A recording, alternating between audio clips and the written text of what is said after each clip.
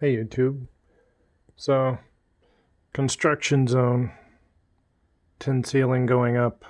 Just had a new carpet put in, and uh, with a puppy statue. Yep. So, gas logs working well, and like that. So, huh, a lot of work. I didn't put the carpet in. The carpet guys just left a couple hours ago. So got some uh, painting to do, the radiators and curtains and the rest of this ceiling.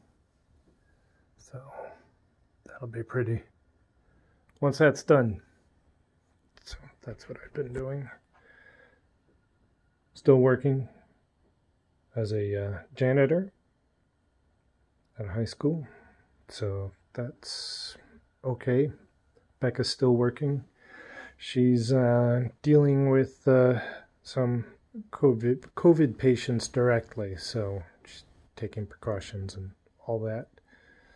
So my guess is we already had it back in February because we all had, you know, wasn't like the worst flu I've ever had. It was, you know, a miserable cold that lasted two weeks. Is how it was for us. So, um, yeah.